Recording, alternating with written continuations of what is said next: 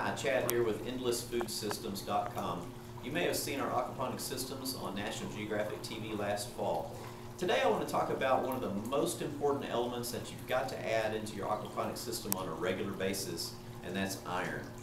The reason that you may be getting some yellowing in your system if you already grow aquaponically, if you're not adding iron to the system, or if you're noticing uh, crusty, uh, dead edged leaves where the, the edges of your leaves are turning, you know, dead, that could be an iron uh, deficiency. And the thing about iron, it's a actually a topic we could talk for for hours. In fact, we have classes on our website for about an hour long each if you want to go on there, several classes that you can watch.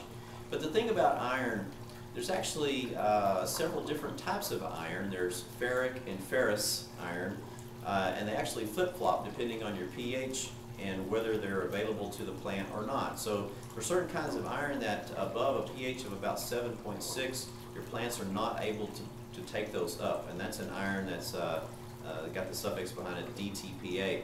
That's an okay iron, but it only re really is good for your system below a 7.6 pH.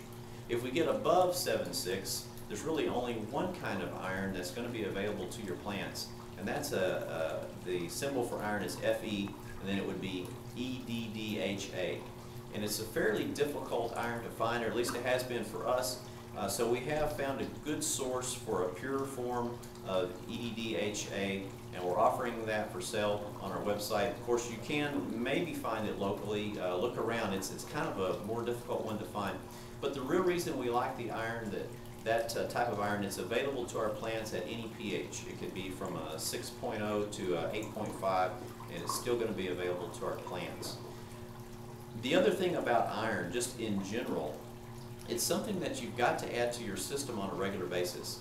Uh, we add about two teaspoons for every four to 500 gallons in our aquaponic systems on a weekly basis.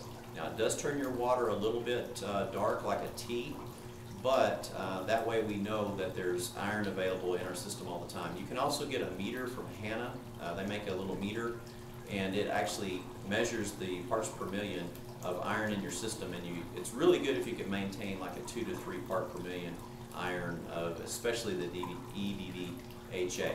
So thanks for watching. Go and visit our website at endlessfoodsystems.com.